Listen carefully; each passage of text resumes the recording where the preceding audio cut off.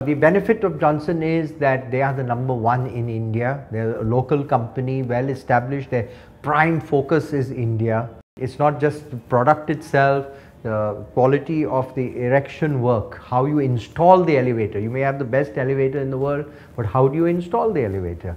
And then the biggest component of an elevator is the maintenance.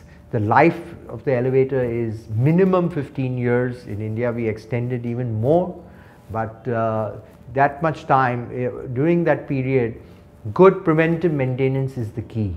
And being available, being on the ground, having the infrastructure to support it well, providing you know the upgradations wherever required, whenever required is the key to a good uh, elevator company.